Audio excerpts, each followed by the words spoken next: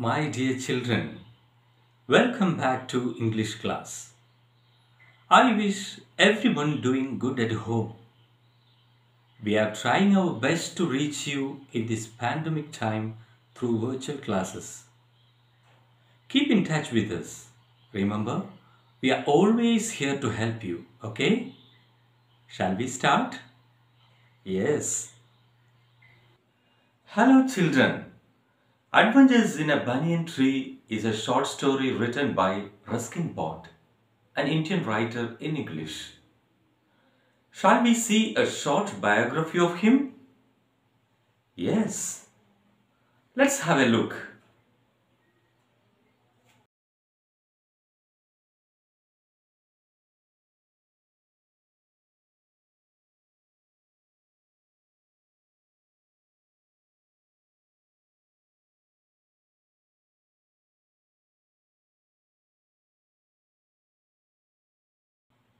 My dear children, the story Adventures in a Banyan Tree portrays the happy childhood of the writer blended with enchanting nature. Shall we watch one such video? Sure. Here is it.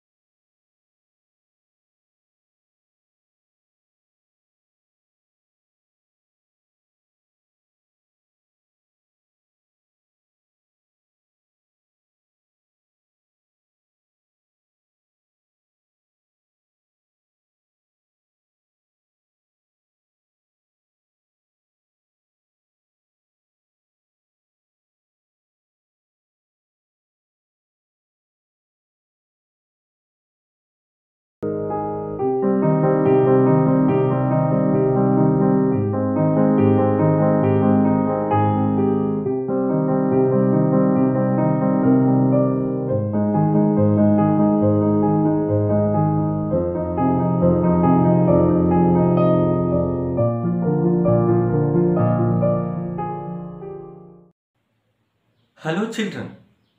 Did you watch the video?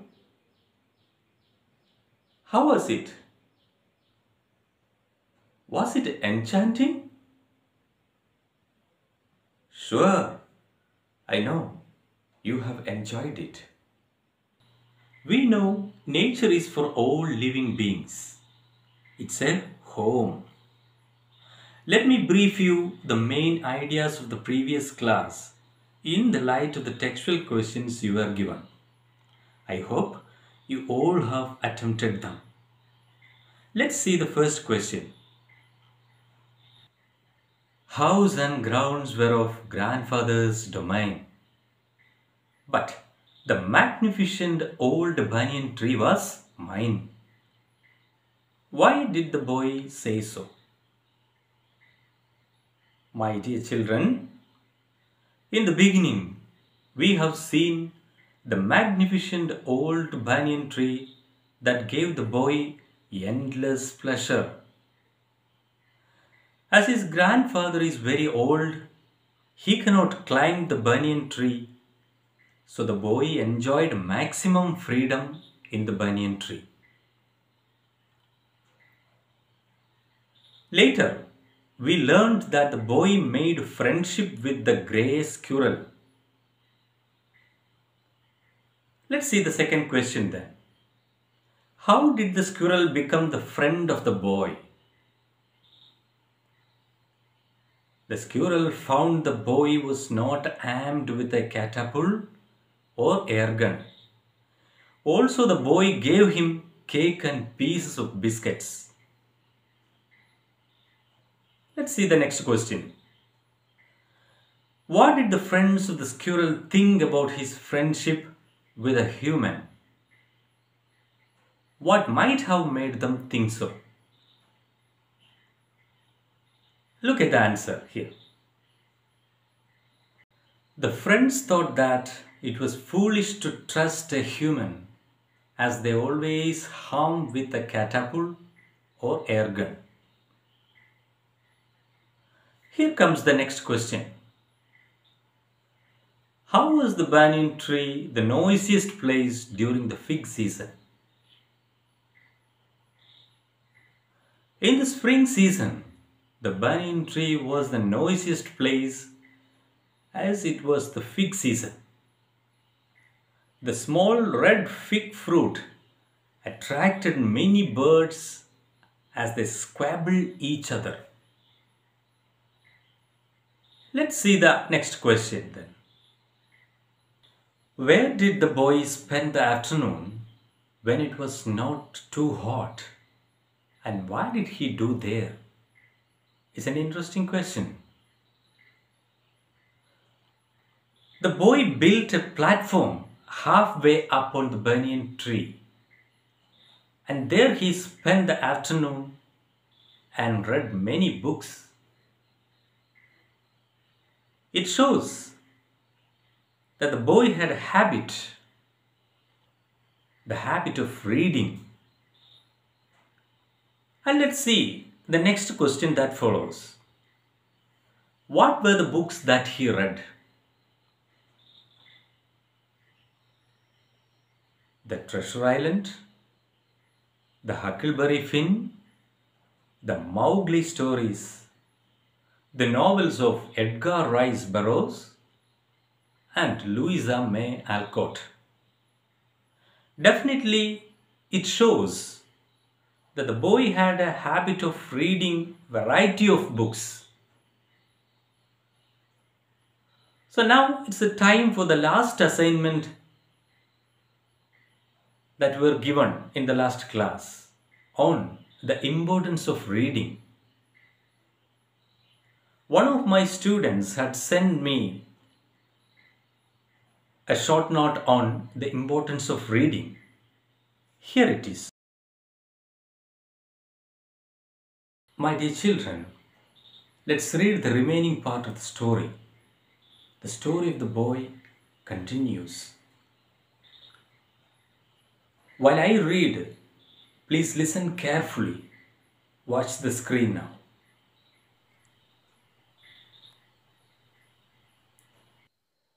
When I did not feel like reading, I could look down through the banyan leaves at the world below.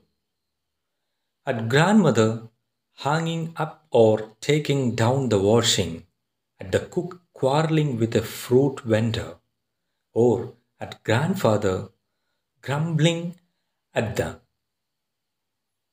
hardy Indian marigolds which insisted on springing up all over his very English garden. Usually nothing very exciting happened while I was in the banyan tree. But on one particular afternoon, I had enough excitement to last me through the summer.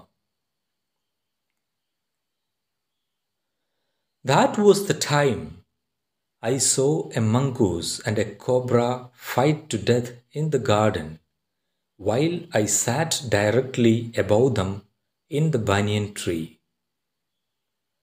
It was an April afternoon, and the warm breezes of approaching summer had sent everyone, including grandfather, indoors.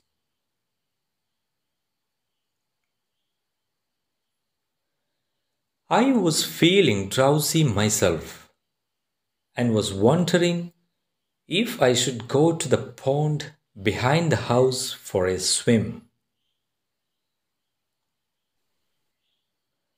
When I saw a huge black cobra gliding out of a clump of cactus and making for some cooler part of the garden.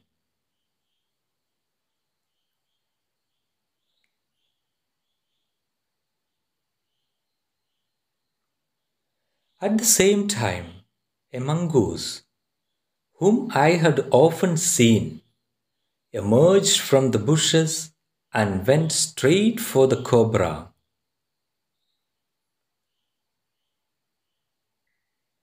In a clearing beneath the tree, in bright sunshine, they came face to face.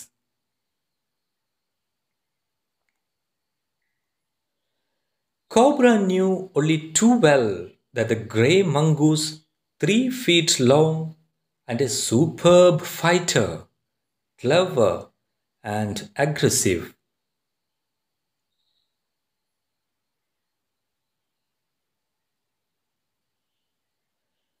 But the cobra was skillful and experienced fighter too. He could move swiftly and strike with the speed of light.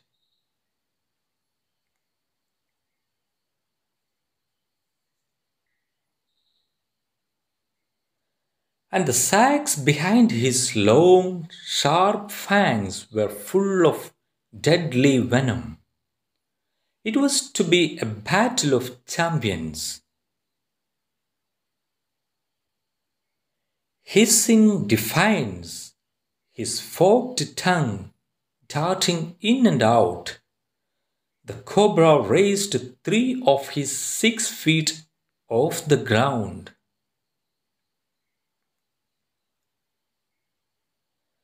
And spread his broad, spectacled hood the mongoose bushed his tail.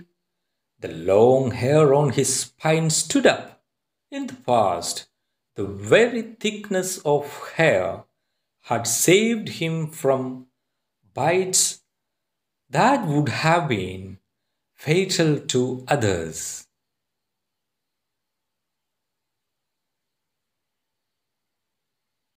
Dear children, I hope you have listened to the story. Now, I will help you to understand the story with the help of a few questions. Listen carefully and try to answer the questions. What did the boy do when he was not feel like reading?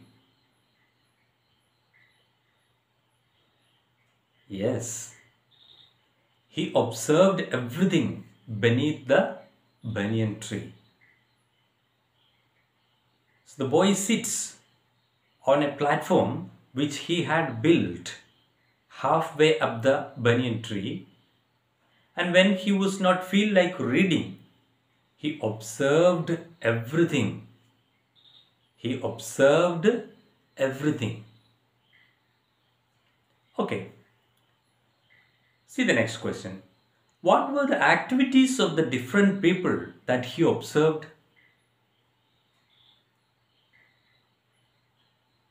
He observed many things. He observed the activities of the different people. So the question is clear. What were the activities of the different people that he observed? He observed mother, hanging up or taking down the washing, and cook, quarreling with fruit vendor, grandfather grumbling at the Indian marigolds. Why did grandfather grumble at Indian marigolds? Yes, the marigolds insisted on springing up all over his English garden. English garden. Look at the picture of an English garden.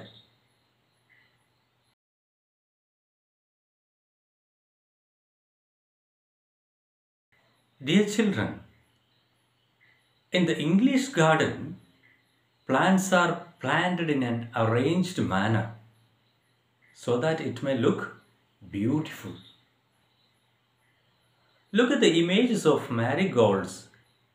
Indian marigold scatters everywhere and it grows everywhere. So grandfather grumbles, right?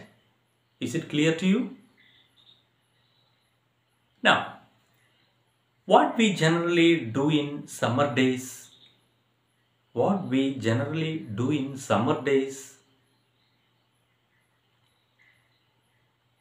Ah, we all stay at home. Everyone knows that summer days are too hot and we all stay indoors.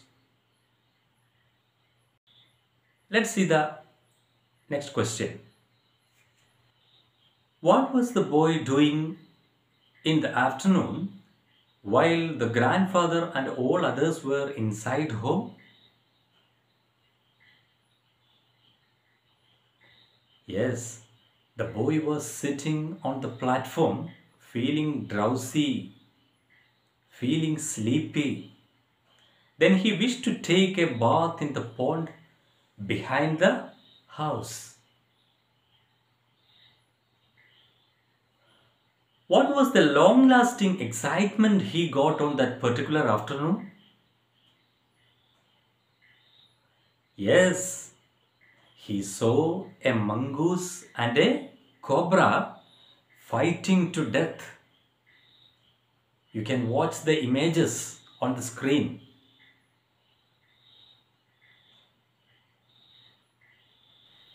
What was the cobra searching for?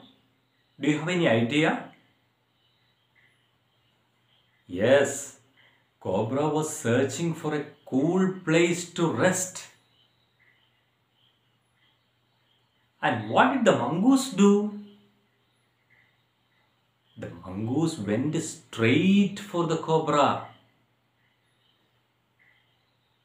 Now,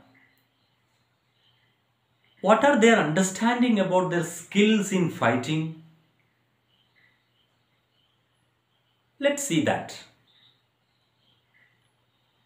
The cobra had a good understanding about his enemy.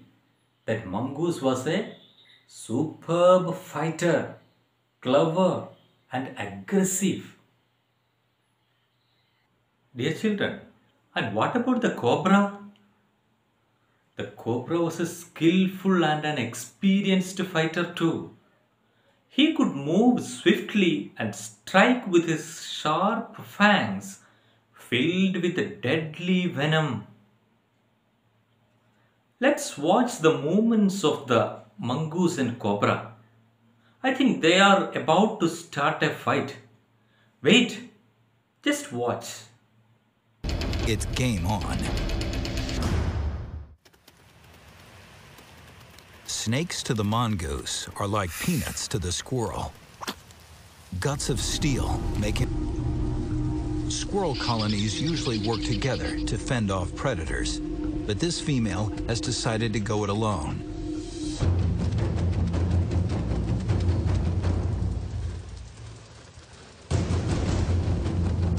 She fluffs her tail to appear bigger, distracts the cobra, and shields her body from the snake's strikes.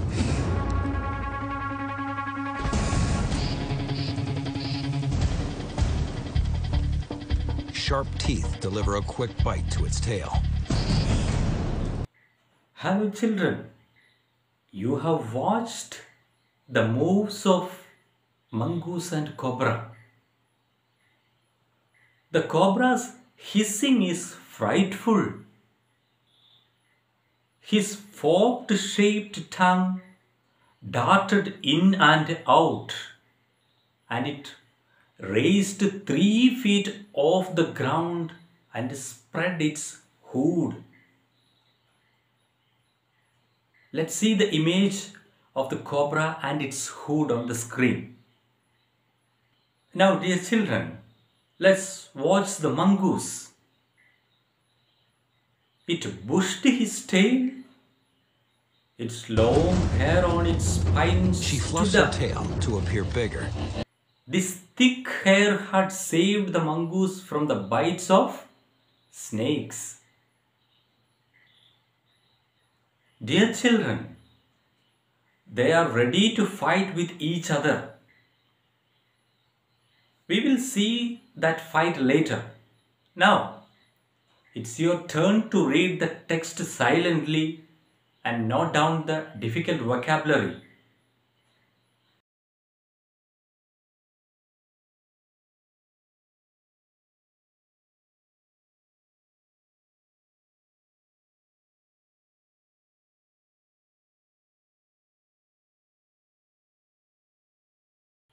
Dear students, these are the unfamiliar words you may have noted down.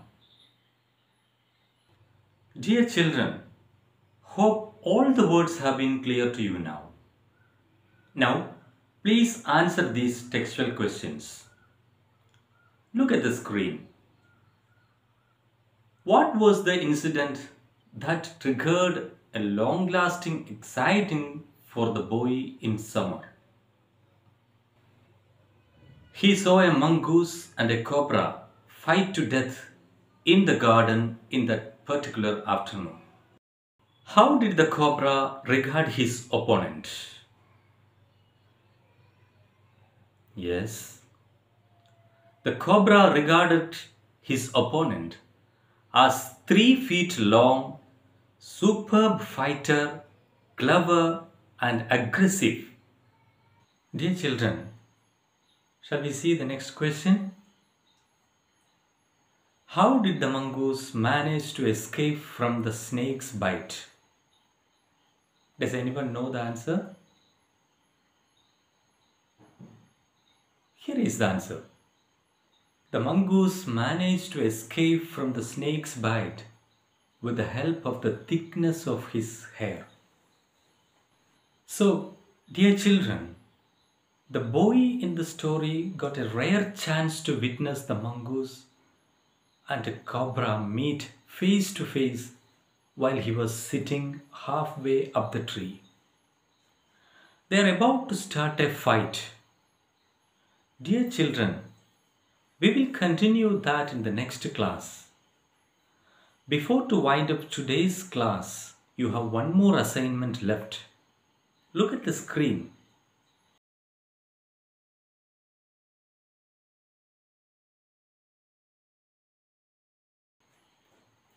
My dear children, the boy in this story narrates certain features of a few animals. Complete the chart given as the activity 3 in your text and send it to your class group. And dear children, don't forget to prepare a short note on these two animals based on the features that you have listed. Okay, my dear children, now it's time for us to wind up today's session. Stay home, stay safe.